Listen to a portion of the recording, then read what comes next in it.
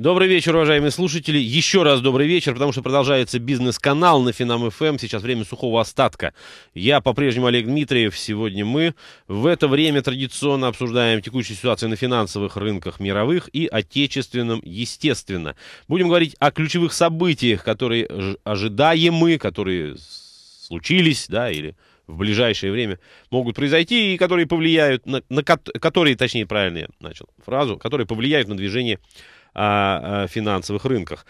А, прежде всего, представляю моих сегодняшних гостей. В студии Олег Шагов, заместитель начальника аналитического отдела Промсвязьбанка. Добрый вечер, Олег. Добрый вечер. И Валерий Евдокимов, главный аналитик Нордеа банка. Валерий, добрый вечер. Добрый вечер.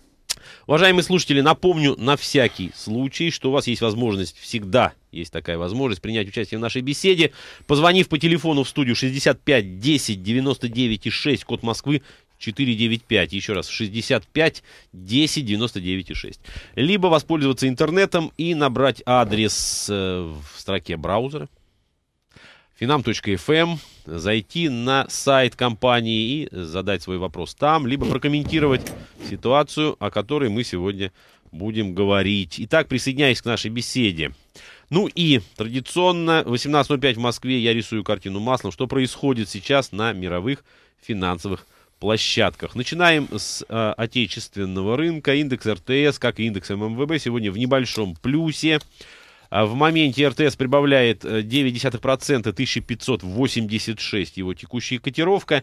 Индекс ММВБ э, чуть меньше, чуть скромнее, но в плюсе на 0,6%, 1524, выше 1500, по крайней мере, можно говорить, что закрепился индекс ММВБ.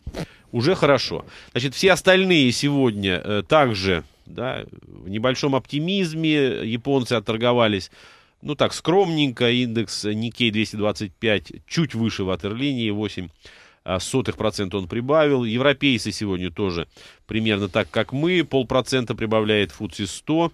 Значит, американцы вчера особой динамики не показали, вот, э, практически э, у нулевых отметок отторговались. Ну, посмотрим, как они сделают это сегодня. Через полчаса открываются американские площадки. Я об этом сообщу. Смотрим на сырьевые рынки и на Форекс. Нефть марки Brent вновь выше 110, что уже хорошо само по себе. Золото торгуется в районе 1670 долларов за тройскую унцию. И индикатор евро-доллара сегодня опять выше 1.33. 1.3344 его текущая котировка. Ну и некие события сегодняшние а, повлияли на э, курс этой валютной пары. Я все-таки традиционно хотел бы еще добавить сюда э, информацию о паре доллар-иена, потому что последние несколько, некоторое время мы все-таки э, достаточно пристальное внимание обращаем на то, что происходит сейчас в японской экономике после смены правительства. Да, э, достаточно серьезно меняется экономическая политика, и ослабление японской иены сейчас это один из главных трендов, да, одна из главных новостей рынка Форекс. Итак, э, доллар иена 89.44, то есть опять стремится к 90 иенам за доллар. Ну и последний, основной набор голубых фишек сегодня в положительной территории. Э, лидеры роста Аэрофлот почти 3%, Газпром больше процента, э, МТС обычка больше процента, Ростелеком 1,3% и половина процента прибавляют сегодня акции обыкновенные Северстали. Хуже рынка торгуются ГМК Норникель, практически минус 0,1% и целый процент теряет Роснефть. Вот такова картина маслом. Итак, еще раз э, я э, проанонсирую. Сегодня мы говорим о неких ключевых событиях на фондовых площадках. И давайте наш разговор. Олег, давайте начнем. Давайте. Э, с, с тебя, да. А, что, на твой взгляд, по крайней мере, вот в течение этой недели и, соответственно, ближайших будет занимать умы наши, прежде всего, наших коллег-инвесторов, ну и всех, э, кто э, сколько-нибудь этим интересуется? Ну, я думаю, сейчас э, наиболее горячая тема – это сезон корпоративной отчетности в Штатах, который проходит. Он проходит достаточно удачно. Американские компании, банки в последнее время показывают хорошие результаты, их акции растут.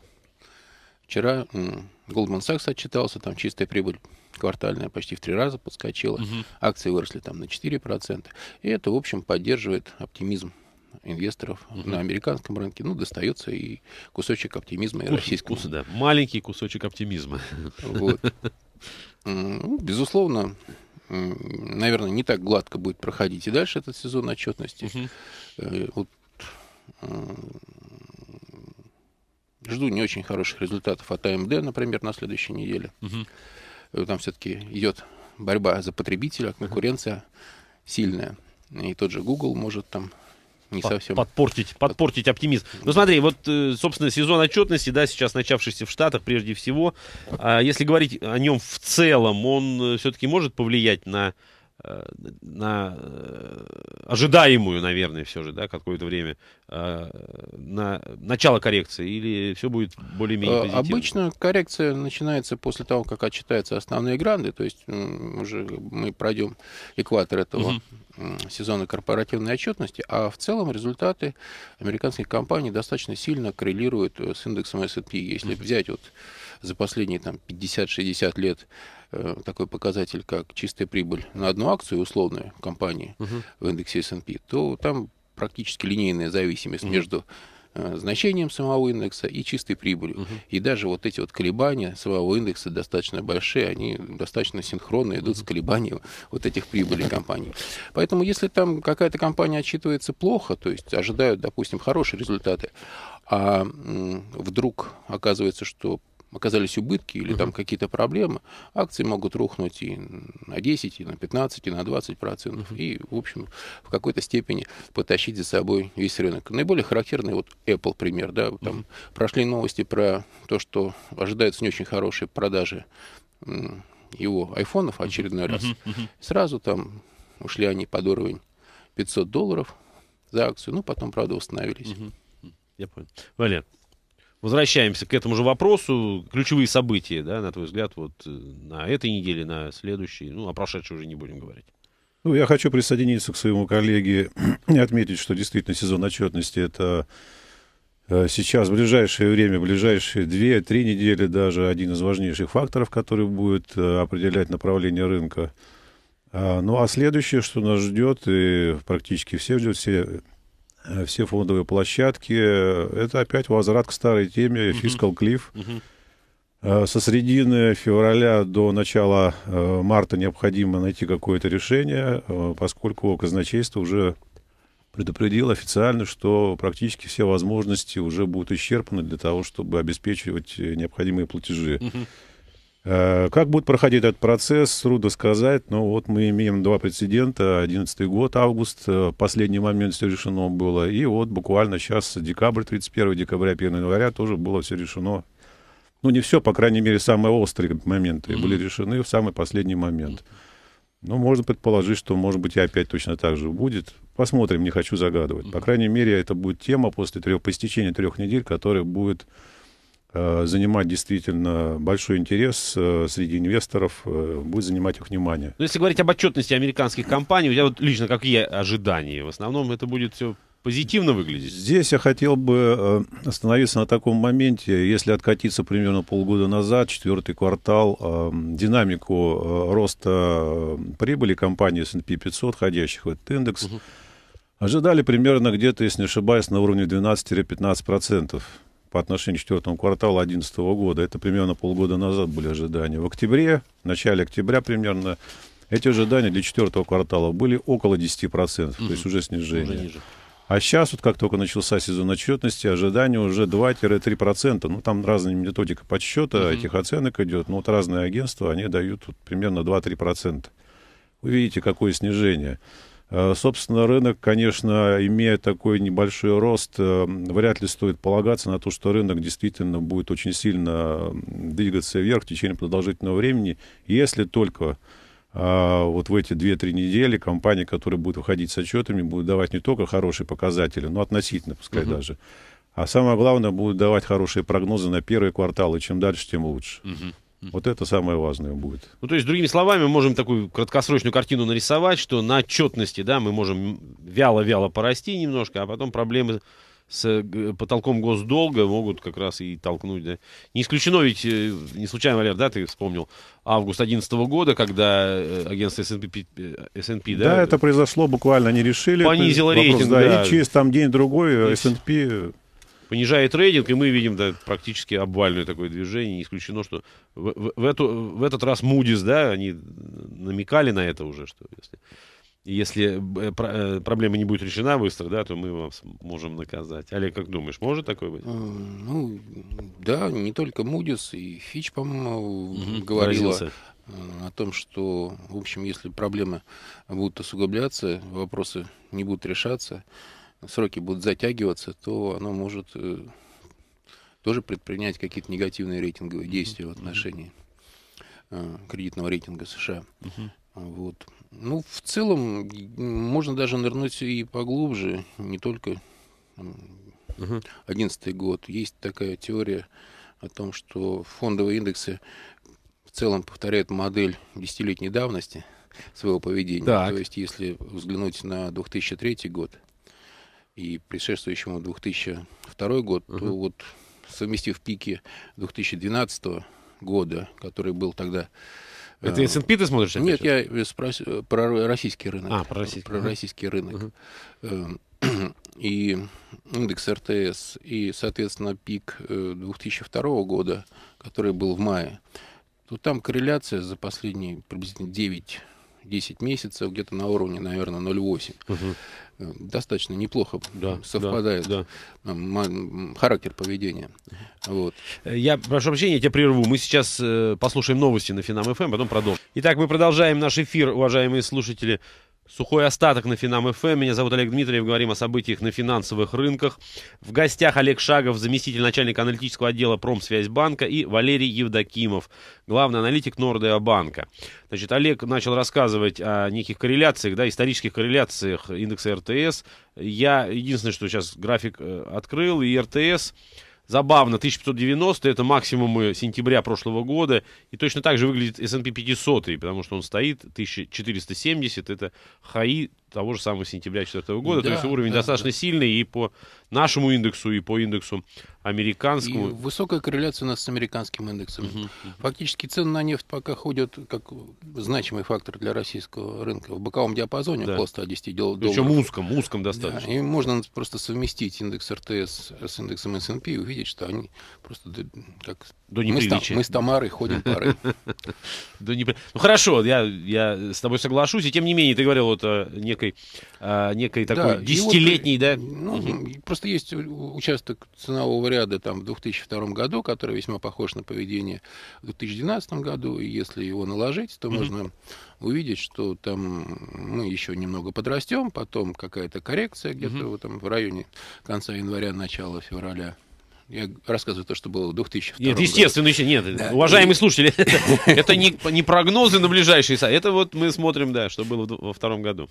Вот, и после чего еще одна какая-то волна роста. Но это, в принципе, может накладываться на ту модель, что американские законодатели все-таки не полные идиоты, они да. в очередной раз э, разыграют э, театральное шоу и, и, и примут э, нужное решение да, мы, в свое время. Мы достаточно часто в эфире уже с вашими коллегами да, называем э, все, что происходит сейчас э, там, за рубежом, именно не, не иначе как шоу. И более того, такое впечатление складывается, что это все такая а, как бы за, задумано это все, да, это все это сценарий выписан, у всех есть свои роли, и все прекрасно знают, что договариваться надо именно вот так. Не просто сейчас взять и все решить. Нет, надо потянуть, надо разыграть драматизм, надо добавить нерва, вот все как по Станиславскому. Да, да, театр. Ну, да, театр, да, театр. Ну, дай бог. Дай бог. Значит, э, давайте мы тогда сейчас э, вернемся, ну или точнее, э, будем говорить о российском рынке. И что касается ключевых событий, а, ну, если позволите, такую основную, основную, да, э, сегодняшнюю новость, э, по крайней мере, меня очень заинтересовало выступление господина Улюкаева, а, который, да, говорил сегодня и о крепости рубля, и о политике Центробанка в целом, и не исключил продолжение, новый виток так называемых валютных войн, который в конечном итоге может привести и к ослаблению рубля в целях поддержания национального производителя, если можно его так назвать. Валерий, как ты считаешь? Ну, вообще высказывания, это были не сегодня, вчера на гайдаровских слушаниях, ага.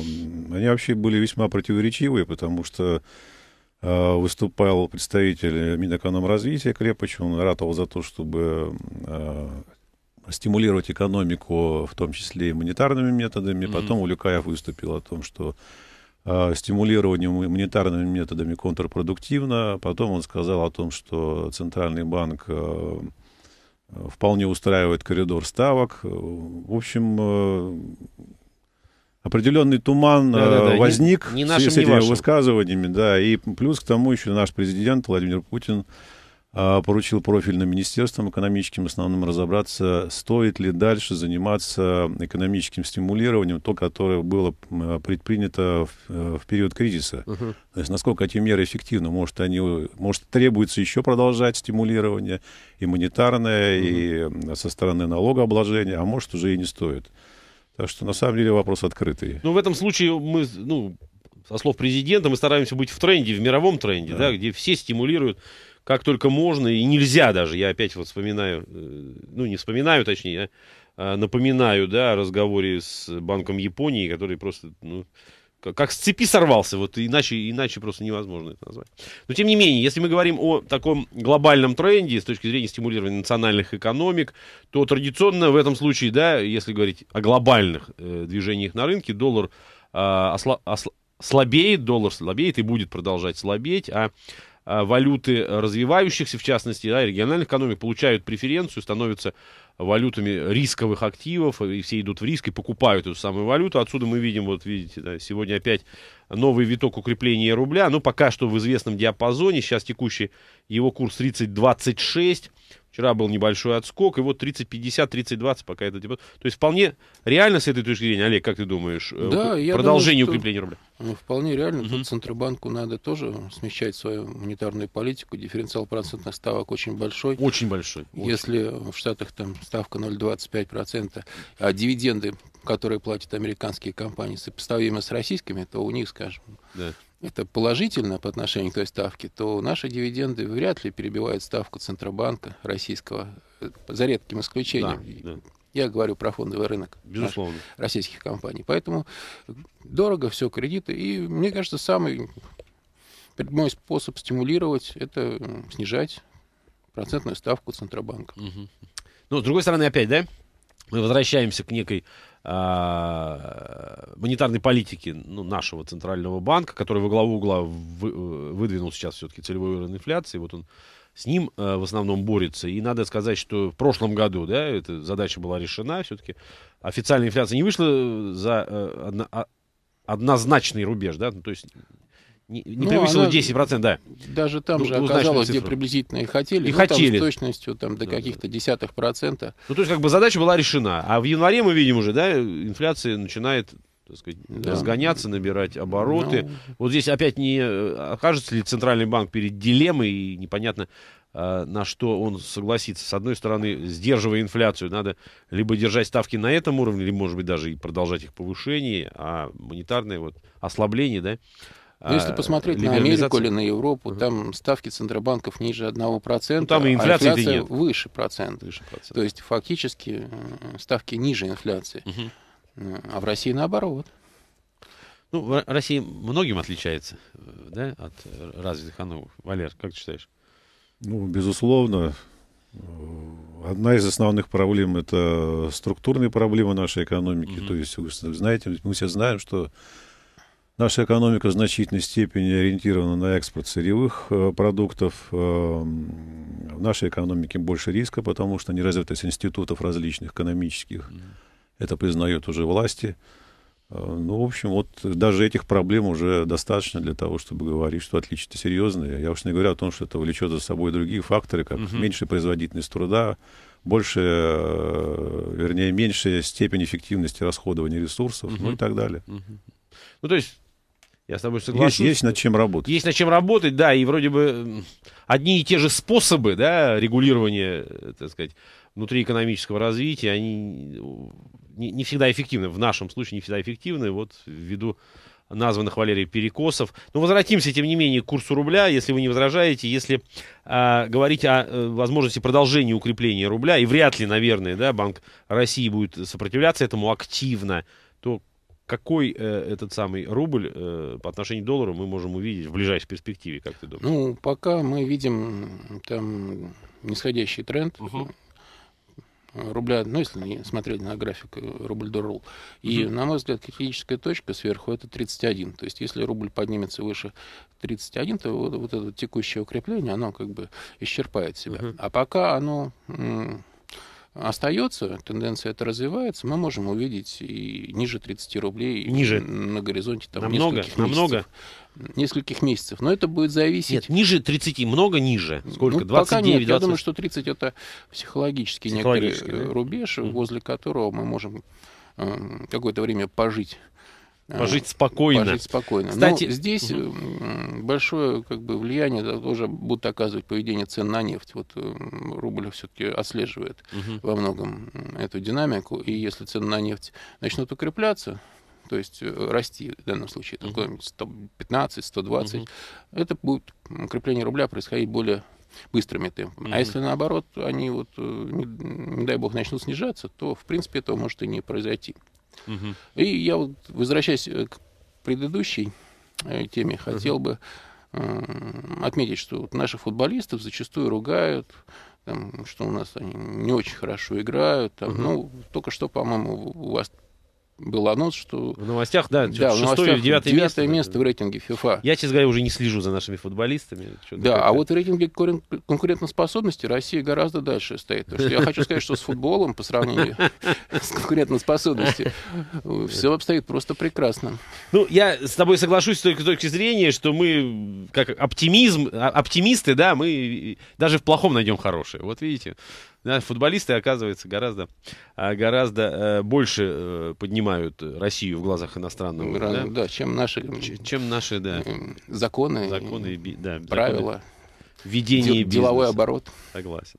Так, значит, давайте тогда мы сейчас э, вернемся, ну или точнее сосредоточимся на российском рынке непосредственно. И, может быть, даже я начну с вопроса, который а, присылают наши слушатели. Вот вопрос от Андрея. У него вопрос по Роснефти. А, ну, на самом деле мы, э, да, эту тему обсуждали неоднократно и раньше. Э, Вот. Значит, вопрос следующий. После объединения Роснефти и ТНК БП цена по Роснефти в диапазоне 250-265 рублей. Ну вот на сегодняшний момент она движется в этом диапазоне. И спрашивает вопрос, это новая нормальность?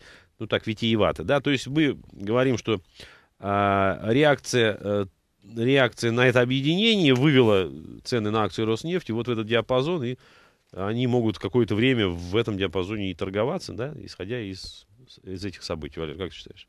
Или есть некий... некий... Ну, я считаю, что цена вполне нормальная, Ага. учитывая, что э, пока, конечно, этот процесс не завершен, Да.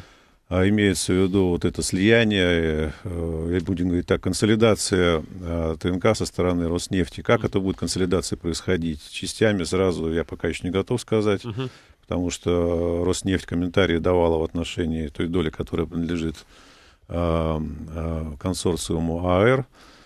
Э, Ну, как бы то ни было, даже если брать ту половину, которая принадлежит BP, консолидация этой половины в баланс Роснефти, он, естественно, должна укрепить финансовые показатели Роснефти, если Мгм. так говорить обобщенно, улучшить эти показатели, в том числе и со стороны долговой нагрузки, и со стороны денежного потока свободного. Мгм. Так что общее улучшение возможно налицо, и я думаю, что вот этот подъем, который мы видим, он вполне э, обоснован. Обоснован. Да, фундаментально обоснован. Друг- Плюс к тому еще предполагается, что BP будет иметь определенную долю, э, соответственно, вот в этой будущей компании. Мгм. Вот, и это, естественно, повышает привлекательность э, вот этой объединенной будущей Роснефти в глазах крупных западных инвесторов, портфельных уже. Да. Что в свою очередь, да, может вывести э, акции Что из это тоже, диапазона, поддерживает, да. это тоже поддерживает цену акций. Мгм, мгм. Олег, по, Роснефти. Да, я согласен. Ну, еще бы добавил про то, что обещают налоговые льготы для работы компании на шельфе. Это тоже немаловажное явление. Мгм. То есть, в принципе, открываются достаточно широкие перспективы по наращиванию Роснефти чистой прибыли. Я считаю, это один из важнейших показателей для любой компании. Вот, поэтому тут э, перспективы достаточно серьезные в акциях компании растущий тренд. Сейчас там идет какая-то коррекция небольшая. Мгм. Ну, Ну, я бы сказал, консолидация, вот тот же самый Андрей говорит, 250-265, вот этот диапазон уже мы видим там да, пару Ну, месяцев. Я не исключаю, что мы можем и на более высокие уровни Вот, вот, апсайд су- существует, Ну, да, существует, 265 и выше. Тем Да. более, вот Валер сказал, да, после Это того, даже сделка... еще не исторически максимальные Мгм. значения по Роснефти, Мгм. хотя э, та компания, которую мы видим сейчас, она уже гораздо лучше той компании, когда она была да. доставила те исторические минимум, Там максимум, который а... мы еще не взяли. Она гораздо симпатичнее. Значит, мы прервемся, послушаем новости, потом продолжим. Итак, друзья мои, продолжаем, продолжаем эфир. Сухой остаток на Финам ФМ. Я Олег Дмитриев. В гостях Олег Шагов, заместитель начальника аналитического отдела Промсвязьбанка и Валерий Евдокимов, главный аналитик Нордеа банка. Прежде чем мы продолжим наш э, разговор, давайте в 18.31 посмотрим, что творится на э, рынках, потому что присоединились к нам, так приятно говорить, присоединились к нам наши американские коллеги, открылись американские площадки. Что же мы видим там? А видим мы там позитив, ну пока что умеренный, понятно, что на открытии. И тем не менее, в моменте э, чуть больше одной сотой процента прибавляет Dow Jones, 13513, и S&P 500 э, 0,05%, 1673, фьючерс также растет на 0,5%. В общем, пока что оптимизмом полон мир, ну, по крайней мере, американский рынок. Еще раз повторю, очень интересно, вот то, что мы говорили чуть раньше с Олегом, а, и S&P, и наш РТС э, стоит у важного сопротивления, пробой, отбой, вот как это будет а, происходить дальше, мы посмотрим. Мы продолжаем отвечать на вопросы, наверное, сейчас самое время. А, кстати, у вас, уважаемые слушатели, есть возможность да, их продолжать задавать или делиться собственными э, впечатлениями. Телефон, я еще раз напомню, 65 10 99 6, код Москвы 495, сайт компании finam.fm. Эм. Итак, наш, наш слушатель интересуется судьбой акций банка ВТБ. Давайте расскажем ему об этой судьбе, Олег. Ну, а акции ВТБ сейчас находятся в рамках э, такого нисходящего треугольника, достаточно mm-hmm. широкого и подошли к сопротивлению, которое в виде такой падающей линии угу. где-то на поступах к 6 копейкам проходит. В принципе, это отражает ту текущую ситуацию неопределенности, которая в отношении акций ВТБ складывается. Дело в том, что на этот год была намечена приватизация частичная банка ВТБ. Хотели сократить э, госдолю до 50% приблизительно в акциях ВТБ. Эм, ну, сейчас идет речь о том, что это может быть сделано путем доп. эмиссии. То есть не государство будет продавать свой пакет, а банк проведет доп. эмиссию mm-hmm. и э, проведет СПО. Э, соответственно, пока сроки, размеры э, этой доп. эмиссии по какой цене ее будут предлагать, Пока неизвестно. Неизвестно. Да? И это вносит большую э, неопределенность угу. поведения. И вот в рамках ну а сама доп. эмиссия, это вопрос решенный или ты тоже, так сказать, пока Я думаю, что это практически решенный, решенный вопрос, да. да, но окончательные параметры я не жду раньше того, как банк подготовит отчетность по итогам года. Ну, угу. видимо, это будет март, может быть, там вот начало апреля. позже. Да, и там как раз, видимо, традиционно будет какой-то период благоприятной конъюнктуры, ну, да. когда постараются найти инвесторов, которым будут интересны эти бумаги.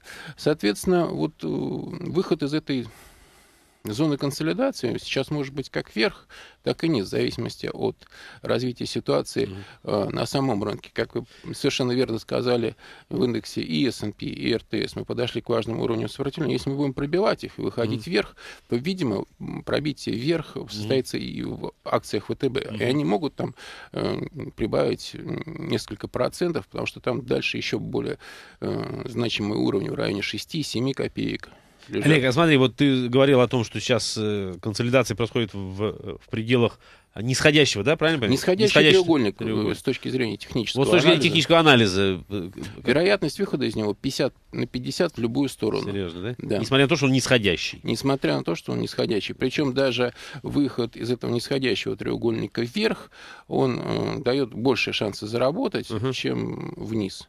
То есть там ну, как бы динамика, динамика выхода, да. она большего масштаба, более динамична. Ну, в общем, пока я бы советовал наблюдать за акциями ВТБ, и угу. когда они приобретут какое-то определенное направление, направление, может быть, там появятся какие-то новости, разъясняющие относительно угу. того, что будет за допомиссия, как банк собирается подводить итоги года. Я думаю, что результаты они тоже подведут достаточно приличными да, будут. Да. И это будет еще одним фактором в пользу того, чтобы они вышли вверх из этого треугольника. Но пока там есть вот такой элемент неопределенности. Я понял. Валер, добавишь по ВТБ что-нибудь? Ну, Есть един... вопрос по Сбербанку еще, если, собственно, сразу могли бы. Я единственное могу добавить по ВТБ, на самом деле, как это не кажется, если по абсолютной цене смотреть, он вроде бы и низко смотрится, если смотреть на график технически. Uh-huh. Но фундаментально он оценен не так уж и плохо, учитывая, что соотношение э, цена к капиталу у него на сегодняшний день примерно где-то вот в районе 0,95 находится. Uh-huh. Если сравнивать с западными банками, то там ниже эти показатели, например. Конечно, он уступает Сбербанку по этому показателю, там примерно полтора. Ну, для ВТБ единственный способ это все увеличить и выйти из этого заколдованного бермудского треугольника, треугольника да. зарабатывать прибыль, прибыль, прибыль. Угу, угу. Будет больше прибыли, значит, улучшится фундаментальный показатель, и тогда выход пойдет в определенную сторону. Угу. Я понял. Ну и сразу давайте тогда уж банковский сектор мы отговорим. Э, акции Сбербанка интересуют наших слушателей. Текущая цена 101.25 уже, да, сегодня прибавляет Сбербанк больше процента. Вот, выглядит достаточно уверенным. Да, 100, 100 после Нового года 100 значит, потрогал, откорректировался, и вот смотрите, 101 выходит. Что можно?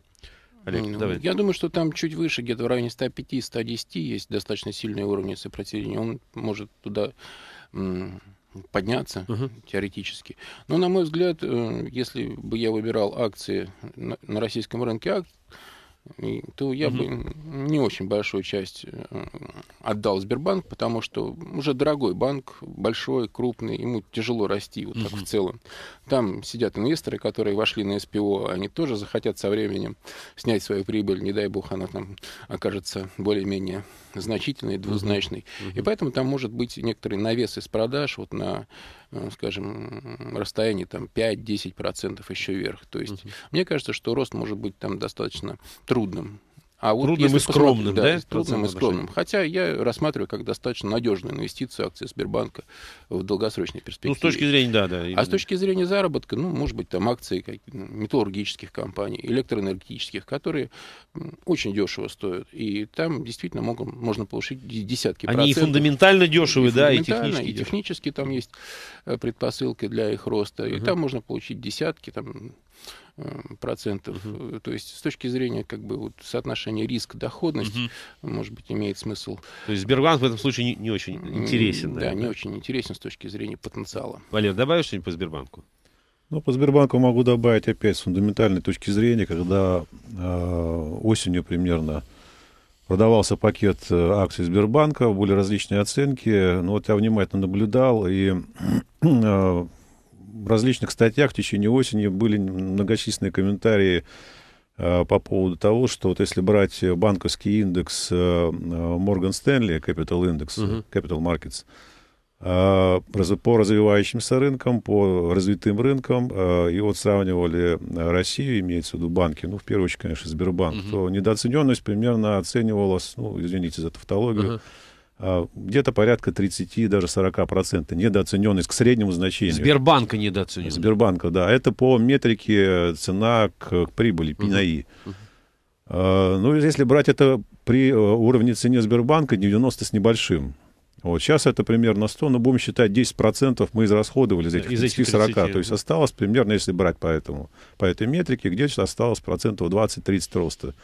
То есть, если это все реализуется в лучшем случае, то мы можем видеть Сбербанк на уровне 120-130 рублей. Угу, угу. Но это все-таки хороший задел, да? Если это реализуется. С текущих, да. Есть э, звонок у нас, давайте послушаем. Э, Владимир, э, добрый вечер, вы в эфире говорите. Добрый вечер. Добрый. А, я вот хотел вернуться к валютным войнам, да, по поводу иены. Угу. Спросить, как вот влияет сейчас, ну, в моменте понятно, что не сильно, как влияет на, в частности, там, на Европу, да, на, почему Шойбле так а, обеспокоен. Да, сегодня, сегодня он прям да. переживал, бедолага. У Люкаев тоже переживал. Э, ну, на что влияет, понятно, что и почему э, никто пока не переживает в Америке, да, по поводу укрепления иен против доллара, ну, в том числе.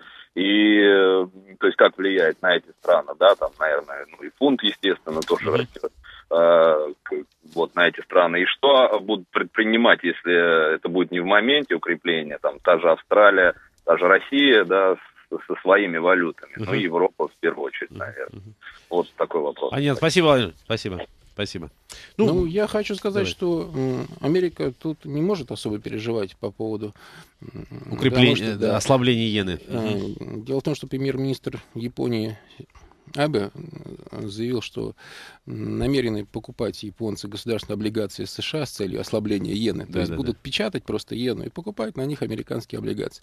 И японцам хорошо, и американцам. И вряд ли, да, американцам по этому поводу переживать приходится. Поэтому да? тут, я думаю, стороны найдут консенсус в Кстати, вопросе. вот Шомбли сегодня действительно выступал, и мы видели в моменте э, сегодня рост йен, э, евро, простите, да, и против доллара, и против иены. В основном как раз э, этот рост был обусловлен э, динамикой евро-иены, то есть иену продавали активно сегодня и покупали на нее евро, ну, доллары в том числе, и британский фунт стерлингов. Вот по этому поводу он и переживал.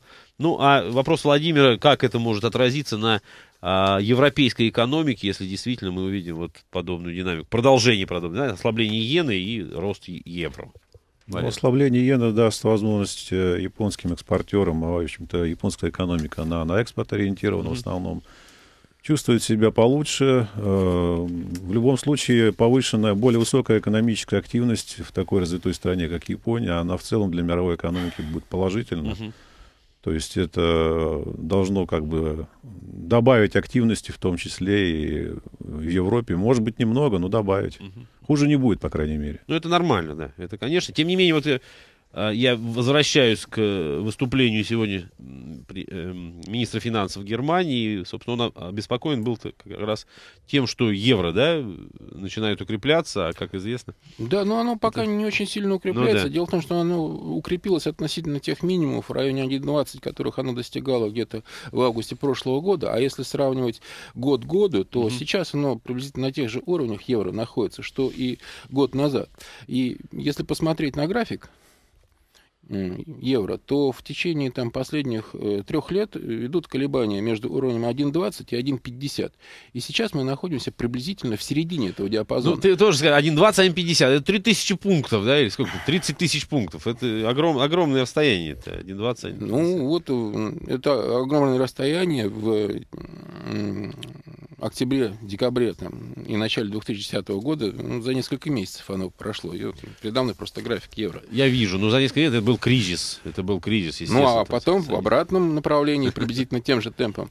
И я думаю, что здесь просто чисто пока разговоры. То есть это никак никаких валютных войн реально нет. пока нет. Все это в основном словесные баталии, интервенции. Безусловно, каждая страна не заинтересована сейчас в кризис иметь очень дорогую собственную Совершенно. валюту. Совершенно. И вот как только евро вышло на некоторый средний уровень, относительно американского доллара за последние там несколько лет. Вот тут уже появились э, Разговоры, немцы, да? преимущественно, которые беспокоятся за свой экспорт, и за свою экономику, которая, в общем, угу.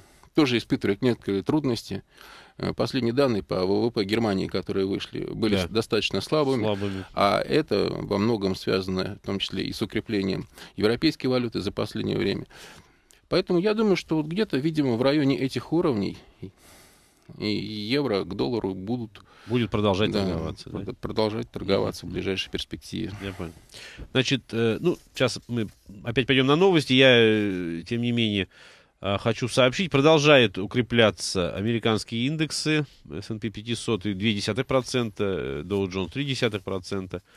Вот. На графике рисуется гэп восходящий. Ну, посмотрим, в общем, как это будет. Тем не менее, 1700, 1475 а, котировка индекса Доу Джонса вот сейчас в моменте. Значит, мы, э, еще раз повторю, мы сейчас э, уходим на новости, слушаем новости на Финам ФМ, потом продолжим разговор. В последней части мы будем отвечать на вопросы и говорить о перспективах российского рынка. Ну что ж, последняя часть сухого остатка осталось 12 минут, и мы успеем с вами ответить на вопросы и поговорить о неких ближайших перспективах отечественного рынка, ну и, может быть, не только отечественно. Вопрос по перспективам акций «Газпрома». Валер, давай с тебя начнем. «Газпром», как ты видишь его в ближайшее время? Сегодня «Газпром» опубликовал отчетность за третий квартал по МСФО 2012 года. Правда, мы сейчас живем уже в январе 2013, поэтому данные, конечно, э, не очень актуальны. Да, уже, не да? очень актуальны. И, конечно, для рынка акций в большей степени и более актуально важны перспективы. А перспективы на самом деле не очень э, благоприятные для «Газпрома». Вот э, самые последние новости, которые вот за ближайшие несколько дней были, Фич комментирует о том, что в этом году «Газпрому» не стоит надеяться на рост продаж газа, газа в Европе. Угу. «Газпром» имеет серьезную конкуренцию со стороны Норвегии, том числе и в поставках на традиционный свой рынок Германию. То есть там доли примерно уже ожидается, скоро сравняются у «Газпрома» и у норвеж... норвежской стороны. Угу. Также в этом году власти США должны принять решение, важное решение по поводу строительства мощностей по экспорту сжиженного природного газа в Южных Штатах, которые на Мексиканский залив уходят. Вот, так что и вот э, такие перспективы, они, конечно, привлекательность «Газпрома» в глазах инвесторов будет сдерживать. И если даже посмотреть вот на фундаментальный показатель, передо мной тут уже такой препарированные показатели, более, так сказать, э, доступные для восприятия. У «Газпрома» снизилась э, операционная рентабельность. Если брать вот по историческим данным смотреть, сейчас она составляет 20 с небольшим процентов, 23 по итогам третьего квартала. А до этого была порядка 30 процентов, даже чуть выше. Угу. Так что снижение, конечно, рентабельности, маржинальности, это тоже не здорово. Не здорово, не здорово, согласен. Ну, то есть мы говорим о том, что не особо, да? Мы ну, и хотел еще добавить, uh-huh. и вот э, за последние месяцы вышли несколько новостей достаточно таких серьезных, в том, что Новотек серьезно теснит «Газпром» уже на внутреннем рынке. Uh-huh. И хочет потеснить его на внешнем. Дело да. в том, что «Газпром» может решиться лишиться своей монополии на экспорт газа. То есть такие, в принципе, предпосылки есть. И это тоже такой негативный момент, если Новотек начнет с Газпромом конкурировать. Ну, негативный момент для Газпрома, прежде ну, конечно, всего. Про... Да. Можно ли говорить, что Газпром из нашего всего превратится в нечто иное. Ну, я думаю, что в наше ничто он не превратится. Безусловно. Все равно крупная компания зарабатывает очень хорошо. Ну, дивиденды обещают достаточно высокие. То есть по текущим э, ценам это где-то на уровне, наверное, 5% дивидендная доходность. Но постепенно теряет э, рынок практически во всех э, сегментах Сегменты. своей деятельности. Угу. И вот это негативно отражается э, на котировках его акций.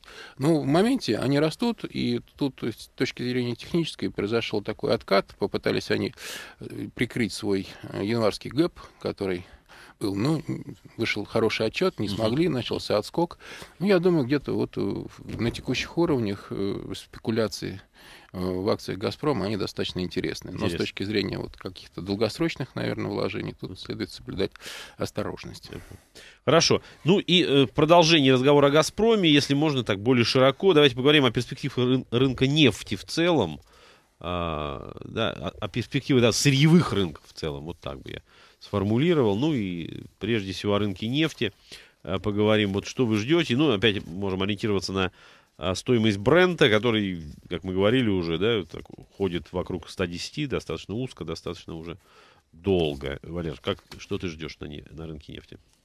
Ну, с моей точки зрения, вряд ли можно ожидать каких-то сильных ценовых всплесков. Может быть, какие-то отдельные технические движения будут, будут э, но очень краткосрочного характера. Скорее всего, уровень где-то вот порядка около 110, может, чуть меньше, может, чуть больше он сохранится uh в течение года. В течение года. Да, если, конечно, не будет со стороны американцев э, вот проблем, имеется в виду фискального обрыва, если uh-huh. это наступит, то тогда, конечно, ситуация может поменяться в худшую сторону. Uh-huh. Олег.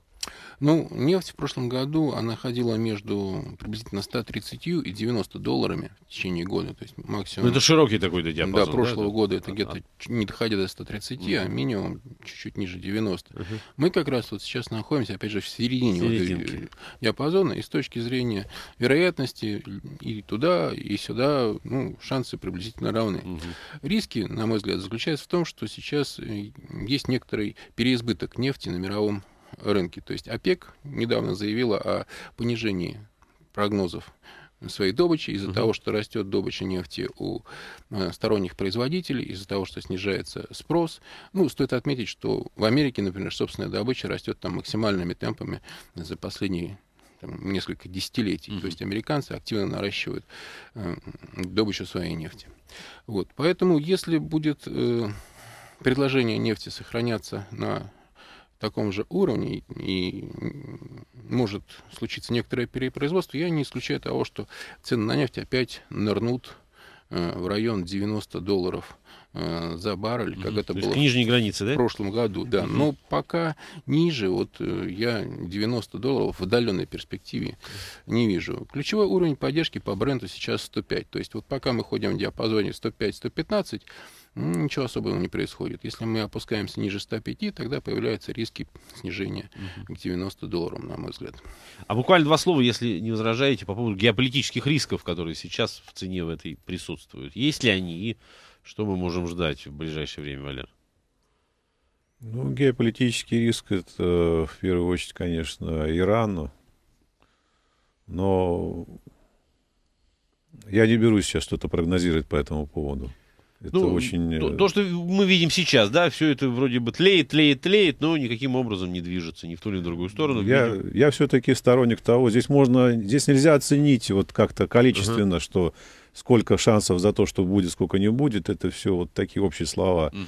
Здесь просто можно как-то полагаться, принять какую-то точку зрения. Либо будет, либо не будет. Я все-таки считаю, что вряд ли какие-то будут серьезные э, конфликты э, со стороны вот развитых стран, в первую очередь США, э, с Ираном. И, скорее всего, просто этот фактор будет давить на этот рынок, как-то поддерживать эту цену на нефть. И со временем, может быть, как-то это все, условно говоря, рассосется, не знаю. Мгм. Ну, обострение, серьезного обострения ты все-таки Я не вижу, да, я не считаю, я не считаю так, что будет. Я понял. Валер. Э, Я бы тут отметил еще такой фактор, как общее торможение мировой экономики.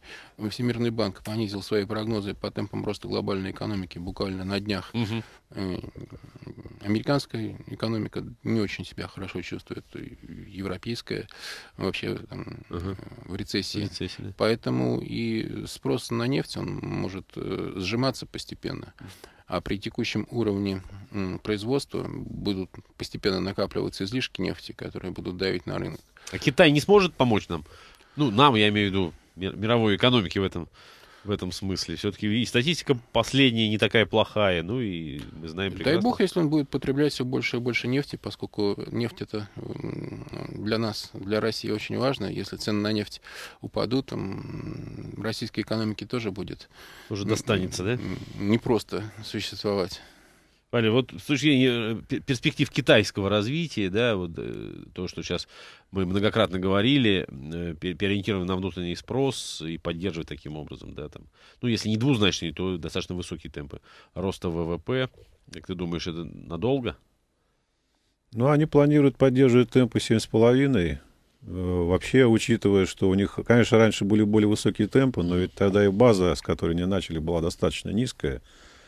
А сейчас каждый процент вот этого роста из 7,5, он дорогого стоит. Он стоит дороже, чем э, предыдущие, там, 12% и все. То есть номинальные значения не надо смотреть, надо смотреть все-таки, понимать, что как с каждым годом эта база сравнения возрастает, и эти 7, 7,5% они действительно будет поддерживать спрос на сырьевые товары на мировом рынке, но я не думаю, что это будет толкать прям вот сильно цену на нефть. Он просто не будет давать и сильно падать, и будет, видимо, держать на каком-то определенном уровне. Ну, по крайней мере, на видимую перспективу. Как будет дальше, вот тут Ну, то есть, другими словами, в принципе, мы пришли к тому, что, э, ну, высокая, невысокая, стабильная цена на нефть, вот она сейчас а, а, зависит от некоторых факторов, да, в частности, геополитика, который тоже вот, да, э, Торможение мировой экономики. Да-да-да. И, собственно, спрос со стороны Китая. Спрос со стороны Китая. Один, отсутствие одного, а, а может быть и нескольких факторов, да, Ну, о- очевидно, обрушило вот цены на нефть и сделал, добавило проблем в российской экономике, если мы говорим, что она, естественно, э, с э, этими ценами глубоко коррелируется. А, кстати, есть, э, это так, до сих пор это так, жестко мы зависим, жестко зависим от цен Ну, на по нефть. крайней мере, фондовый рынок, Фондовый на рынок. котором мы работаем, он достаточно э, оперативно реагирует на резкие колебания Мгм. нефтяных котировок. То есть вот э, минимум в 90 долларов э, был достигнут котировками нефти в мае прошлого года. Ну и тогда же российский рынок где-то опустился Мгм. в район своих минимальных годовых значений. Мгм. Мгм. И то есть потом, да, восстановление нефти уже И потом и восстановление толкало. нефти, да. Но сейчас она как бы на приемлемом для российской экономики уровне 110 долларов, и здесь особых беспокойств нет. Больше беспокойства у инвесторов возникает, когда она начинает падать. То есть здесь э, такой определенный фактор страха начинает работать, что э, могут и на 90 не остановиться, Мгм. как это было в кризис 2008 Ну да, года. ну да. А тут э, Падающий нож, как говорят в таких случаях, очень, очень сложно ловить, если мы говорим о кризисе, да, там валится все так, что мама не горюй. Ну, осталось не так много времени, и в, в спектре, видимо, да, наших разговоров сегодняшних о программах количественного смещения, да, смягчения, э, которые избрали э, большинство э, центробанков мира. Э, буквально несколько слов э, в качестве прогноза о поведении золота как инструмента, уж я не знаю, убежища или, э, или сохранение капитала, или бегство от инфляции, от риска, от чего, не знаю. Олег. Ну, пока золото движется в таком нисходящем канале, я бы сказал, uh-huh. где-то размером нижней границы 1620, а верхняя в районе 1710, uh-huh. и пытается вот к верхней границе приблизиться. Мне кажется, тут фактор страха относительно развития событий вокруг потолка госдолга может сыграть, э, понижение рейтинга в США, если вспомнить э, время в августе 2011 года, угу. когда S&P ну, то, что мы вспоминали сегодня. Да, кредитный рейтинг, тогда золото отметилось достаточным э, подскоком, угу. как реакция на возможное развитие некоторого финансового кризиса в условиях угу. вот таких вот. То есть народ бежал, да, с точки зрения... Народ побежал, да. да. И если вот начнутся э, какие-то события, которые будут способствовать э, росту страха инвесторов да. относительно возможного развития новой волны финансового кризиса, угу. вот тут, мне кажется, золото может, может отыграть тоже... вверх. И вот Под... сейчас я вижу, что оно пока э, растет в рамках такого нисходящего канала угу. постепенно. То есть кто-то там подкупает, видимо, есть интерес, может быть, некоторые люди часть своих активов Переводит в золото. Переводит в золото. Это логично. Валер, два слова буквально. Как смотрится на золото? Будет оно расти? Два глобально? фактора. Есть вопрос хеджирования неопределенности рисков, которые угу. возникают. Это будет зависеть от того, как будет решаться вопрос с финансовым, э, с, с фискал клифф в Америке. А, и... Валер, все, прошу, э, прошу прощения, нет времени уже просто. Спасибо Хорошо. вам огромное, что вы пришли сегодня к нам. Спасибо за внимание, уважаемые слушатели.